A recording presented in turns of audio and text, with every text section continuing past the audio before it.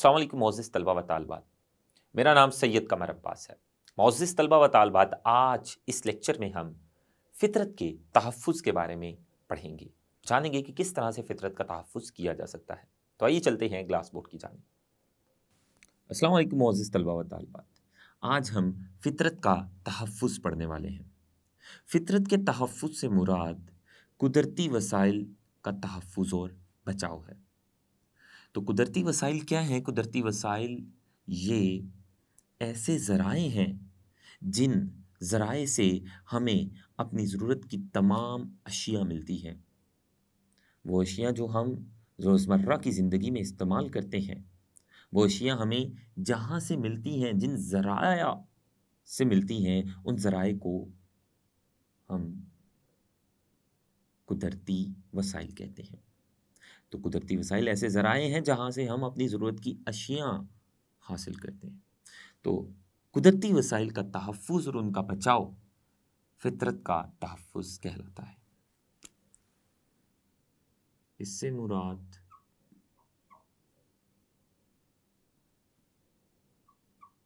कुदरती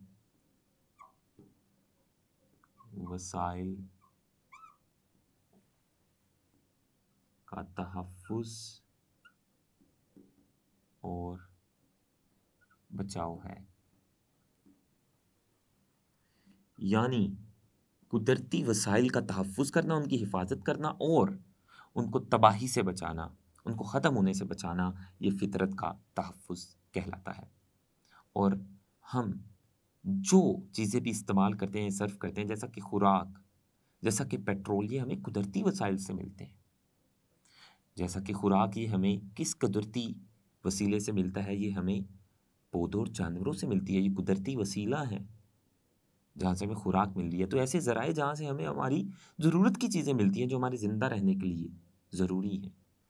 उन ज़राए को हम कुदरती वसाइल कहते हैं। जैसा कि मैंने आपको जानवर और पौधों का बताया, ये कुदरती वसाइल है क्योंकि हमें हमें इनसे अपनी ज़रूरत की चीज़ें मिलती हैं। हवा कुदरती वसीला है। क्यों? क्योंकि हवा से हमें ऑक्सीजन मिलती है ज़िंदा रहने के लिए। तो हवा भी एक कुदरती वसीला है। इसके अलावा बेशुमार कुदरती वसाइल इस दुनिया में मौजूद है, जहाँ से हमें अपनी ज़रूरत की चीज़ें मिलती हैं। तो इन कुदरती वसाइल की हिफाजत करना और इनको ख़त्म होने से बचाना, इनका बचाव ये फितरत का तहफ़ कहलाता है। कुदरती वसाइल दो तरह के हैं। हम कुदरती वसाइल की इकसाम लिख लेते हैं। कुदरती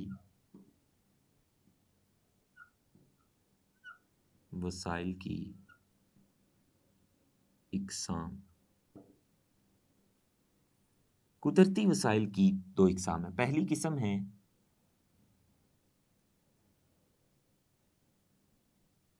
काबले तजदीद। कुदरती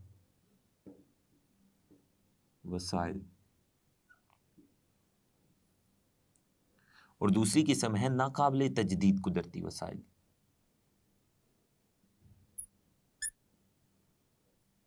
नाकाबले तजदीद कुदरती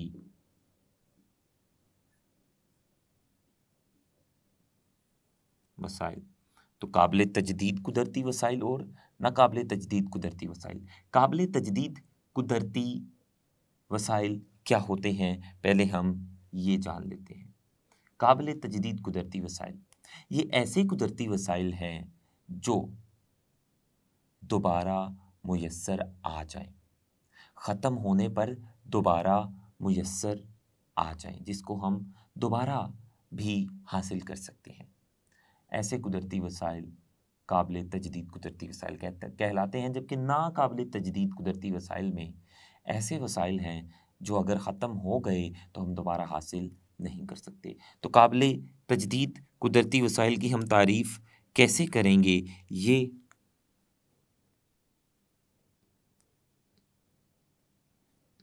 ऐसे वसाइल हैं, ऐसे कुदरती वसाइल हैं जो हमें दोबारा आसानी मुयसर हो जाते हैं।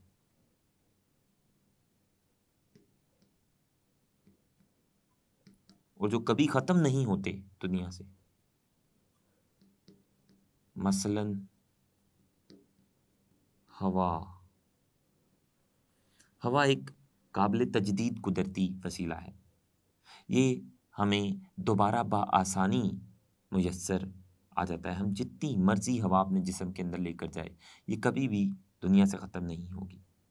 और ये एक बार जब हम हवा जिसम के अंदर लेकर जाते हैं तो फिर दूसरी बार फिर हमें हवा बसानी मैसर होती है, हमें मिल जाती है। तो वो कुदरती वसाइल जो हमें दोबारा बसानी मैसर हो जाते हैं, बार बार इस्तेमाल करने के बावजूद भी हमें दोबारा वो बसानी मैसर होते हैं और कभी दुनिया से ख़त्म नहीं होते, जैसा कि हवा ये काबिल तजदीद कुदरती वसाइल कहलाते हैं। जबकि नाकाबिल तजदीद कुदरती वसाइल ऐसे कुदरती वसाइल होते हैं जो अगर एक बार ख़त्म हो जाएँ तो उनको दोबारा हासिल नहीं किया जा सकता। ये ऐसे कुदरती वसाइल हैं जो अगर एक बार ख़त्म हो जाए तो दोबारा हासिल नहीं होते। इन्हें नाकाबिल तजदीद कुदरती वसाइल कहते हैं। जैसा कि गैस, मसलन, जो गैस हम इस्तेमाल करते हैं, इसके अलावा पेट्रोलियम, इसके अलावा जो कोयला है तो ये सारे नाकाबिल तजदीद कुदरती वसाइल हैं। अगर ये एक बार ख़त्म हो गए तो इनको दोबारा हासिल करना मुश्किल ही नहीं, नामुमकिन हो जाएगा इनको हम दोबारा हासिल नहीं कर पाएँगे। और इनकी मिसालें भी मैंने आपको बताई। और जो नाकाबिल तजदीद कुदरती वसाइल चूँकि ये महदूद हैं, और अगर ये एक बार ख़त्म हो गए तो दोबारा नहीं मिल सकते, इसलिए इनको बहुत ही अक्लमंदाना तरीके से इस्तेमाल करना पड़ता है। और इनका तहफ़ भी बहुत ज़रूरी है। लेकिन इसका ये मतलब नहीं है कि काबिल तजदीद कुदरती वसाइल अगर इस दुनिया से ख़त्म नहीं हो गए तो इनको ऐसे इस्तेमाल किया जाए कि जैसे ये बहुत ज़्यादा हैं और इनको हम ज़ाया करना शुरू कर दें। नहीं, इनको भी इंसाफ के साथ इस्तेमाल करें ताकि एक मतदिल माहौल कायम रहे और हमारे माहौल में कोई भी वसीला कम ना हो। तो कुदरती वसाइल की दो एग्ज़ाम भी हमने तफसील से पढ़ी हो, मिसालों के साथ पढ़ी। काबिल तजदीद कुदरती वसाइल दुनिया से कभी ख़त्म नहीं होते। बार बार इस्तेमाल करने के बावजूद ही हमें बार बार दोबारा मुयसर होते हैं। जबकि नाकबिल तजदीद कुदरती वसाइल ये, अगर एक बार ख़त्म हो जाते हैं तो दोबारा नहीं मिलते। तो हमने मिसालें भी पढ़ी। कुदरती वसाइल बिलखसूस नाकबिल तजदीद कुदरती वसाइल जो कि तादाद में महदूद हैं, इनका तहफ़ बहुत ज़रूरी है। तो इनके तहफ़ को यकीनी बनाने के लिए हमें the three R, the three R के असूल पर गामजन होना पड़ता है। तो दी थ्री आर का जो असूल है, ये फितरत के तहफ़ और कुदरती वसाइल के तहफ़ और उसके बचाव के लिए बहुत ज़रूरी है। तो the three R.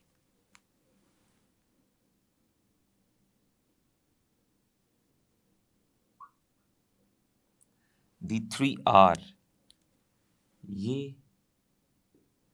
उसूल कुदरती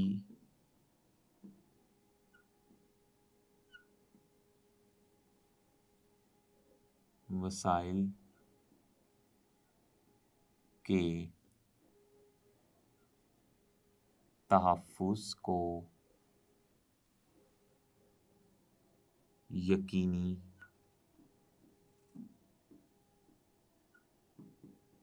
बनाने के लिए बहुत ज़रूरी है।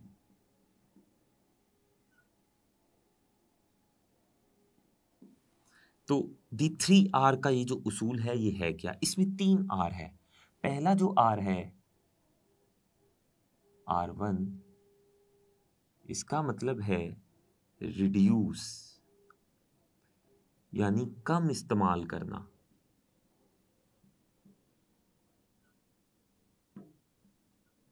ये पहला आर है।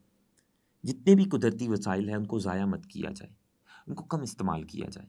अगर हम उनको कम इस्तेमाल करेंगे तो उनका तहफ़ और बचाव मुमकिन है। जैसा कि बिजली, पानी और ईंधन, ये जो कुदरती वसाइल हैं, इनको ज़ाया मत किया जाए। इनको एक अच्छे और मुनासब और मतदिल तरीके से इस्तेमाल किया जाए। अगर कमरे में मौजूद नहीं हैं आप तो कमरे के पंखे और लाइट्स बंद कर दें, ताकि बिजली का ज़या ना हो। और अगर आप नहाना चाहते हैं तो शावर की बजाय आप बाल्टी का इस्तेमाल करें, ताकि पानी कम लगे। इसके साथ ही अगर आप कहीं दूर दराज जगह पर जाना चाहते हैं तो आप अपनी सवारी की बजाय आप पब्लिक ट्रांसपोर्ट का इस्तेमाल करें ताकि कम ईंधन लगे। और अगर आप कहीं करीब ही थोड़े से फासले पर कोई चीज़ लेना चाहते हैं, अपने घर से बहुत थोड़े से फासले पर कोई चीज़ ले, वहाँ पर जाकर आप लेना चाहते हैं तो आप अपनी मोटर गाड़ी के बजाय पैदल वहाँ पर जाएँ ताकि ईंधन का कम इस्तेमाल हो। और खुराक खुराक को ज़ाया ना करें। फालतू बच जाने वाली खुराक को गरीबों को बांट दें ताकि कुदरती वसाइल ये ख़त्म ना हो।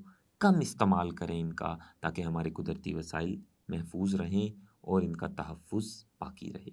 तो ये था आर वन, यानी रिड्यूस, यानी कम इस्तेमाल करना, ये पहला असूल। दूसरा असूल, दूसरा आर, वो है आर टू, और इसका मतलब है रीयूज़। यानी दोबारा इस्तेमाल करना। दोबारा इस्तेमाल करना। बहुत सारी चीज़ें ऐसी हैं, बहुत सारे मटेरियल्स ऐसे हैं, बहुत सारे वसाइल ऐसे हैं जिनको हम दोबारा इस्तेमाल कर सकते हैं। जैसा कि ग्लास प्लास्टिक पॉलीथीन बैग्स इसके अलावा बेशुमार चीज़ें ऐसी हैं जिनको हम दोबारा इस्तेमाल कर सकते हैं। तो इनको दोबारा इस्तेमाल करें। कपड़े तो ये चीज़ें एक बार इस्तेमाल करने के बाद फेंके मत, जैसा कि कपड़े और प्लास्टिक, शीशे के बर्तन, ये सारी वो चीज़ें हैं जिनको हम दोबारा इस्तेमाल कर सकते हैं। तो इनको दोबारा इस्तेमाल करने से एक फ़ायदा ये होगा कि ज़मीन पर जो ठोस अशिया की वजह से आलूदगी पैदा होती है, वो कम हो जाएगी। तो रीयूज़ करें आप चीज़ों को ताकि ज़मीनी आलूदगी कम हो और कुदरती वसाइल बार बार इस्तेमाल हो। एक और आर है, वो है आर थ्री। इसका मतलब है रिसाइकलिंग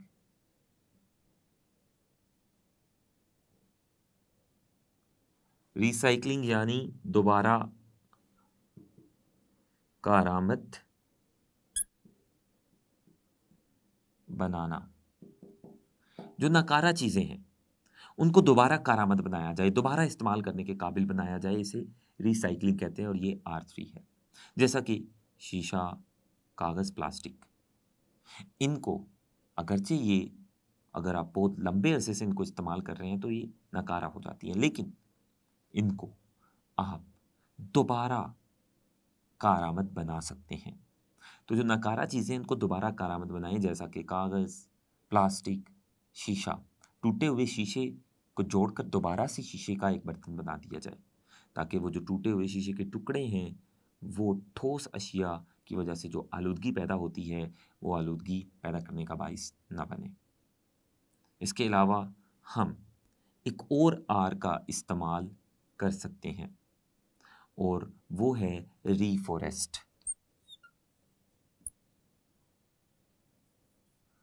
री फॉरेस्ट यानी दोबारा जंगल लगाना।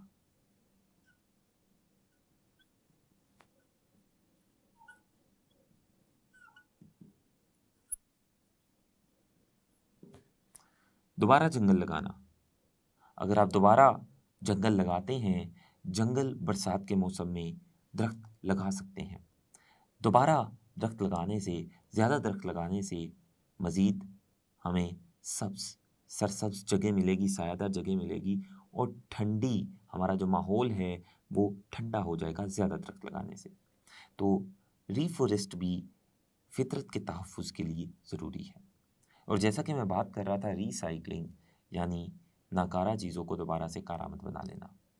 अगर हम एक टन कागज़ को दोबारा से कारामद बना लेते हैं तो जो सत्रह दरख्त हैं। वो कटने से बच जाएँगे और उनसे, क्योंकि उन्हीं को काट कर हम कागज़ बनाते हैं। जब हम एक टन कागज़ को नकारा से कारामद बना लेते हैं तो इतने सत्रह दरख्त कटने से बच जाते हैं।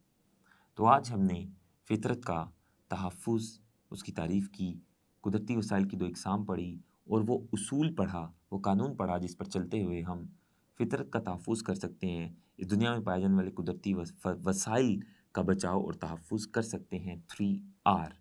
आर वन जो था वो रिड्यूस यानी कम इस्तेमाल करना था। आर टू री यूज़ यानी दोबारा इस्तेमाल करना था। आर थ्री रीसाइकलिंग यानी दोबारा करामत बनाना था। और एक और आर पड़ा, वो है रीफॉरेस्ट यानी दोबारा जंगल लगाना। तो ये सारे जो आर हैं, ये फितरत के तहफ़ में कार फरमा है। मोज़ तलबा व तालबात हमने आज सीखा कि फ़ितरत के तहफ़ से क्या मुराद है। और फिर हमने आज दो किस्म के कुदरती वसाइल के बारे में भी जाना, जिसमें काबिल तजदीद और नाकबिल तजदीद कुदरती वसाइल के बारे में हमने तफसील से पढ़ा और हमने दी थ्री आर उसूल के बारे में भी पढ़ा और इसकी तफसील हासिल की कि कैसे इस उसूल पर चलते हुए, इस कानून पर चलते हुए हम फितरत का तहफ़ मुमकिन बना सकते हैं। इस लेक्चर में इतना ही। अल्लाह हाफिज़।